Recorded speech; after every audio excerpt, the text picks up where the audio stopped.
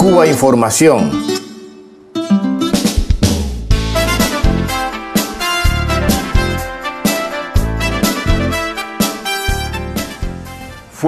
Urte askoan izan zen milioiaren galdera.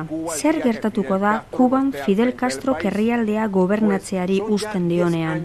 Amar urte pasatu zirenean, Fidelek gobernatzeari utzi zionetik, ia etzen entzuten milioiaren galdera. Errealitateak berak erantzun zion. Kuban etzen ezer gertatu. Iraultzak hortze jarraitzen du.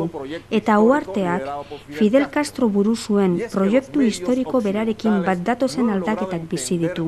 Izan ere, mendebaldeko edabideek ez dute ulertu Fidel Castroen irudiak Kuban, Latinoamerikan eta hirugarren munduan duen garrantzia historikoa.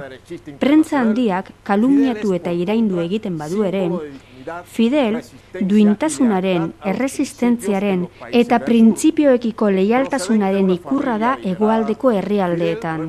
Jatorriz familia aberatzekoa izaki, Fidelek bere gizarte mailako privilegioi uko egin zien. Kuban, zein munduko gainerako herrialdeetan ahotzik, lurrik, eskubiderik eta askatasunik gabe sistema kapitalista abandonaturiko milioika pertsona defendatzeko. Fidel Castro gure garaiko lider handietako bat bilakatzen duten hiru alderdi ditu. Jose Martik amestu zuen subirenotasun nazionalaren arkitekto da.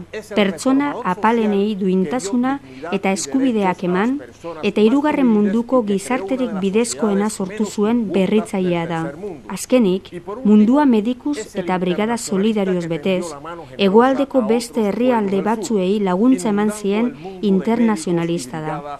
Fidel, politologo batzuen ustez, historian eun urterik behin bakarrik agertzen diren pertsonaia hoietako bat da.